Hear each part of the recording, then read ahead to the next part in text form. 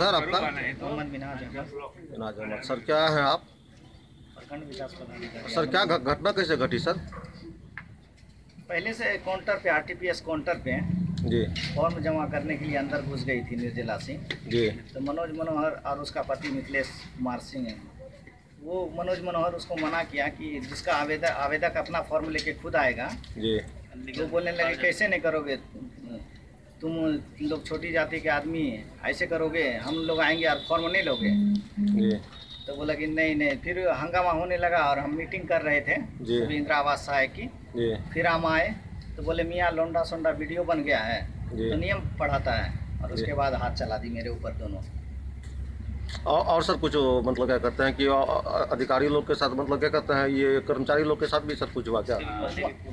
पूर्व में परसों भी आई थी तो वो उसका पति तो गाली गलौज करके गया था और ऑफ़िस में उसका कागज़ फाड़ दिया जी। है आरटीपीएस काउंटर पे जी। खिड़की तोड़ दी है जी। और बोली कि केस उस करके क्या होगा ऐसा केस तो हम रोज लड़ते रहते हैं। तो आप लोग का सर क्या है इसमें सर? क्या होना चाहिए सर? आप लोग जो बैठे हुए हैं अभी आंदोलन करके प्रखंड कार्यालय बंद कर करके।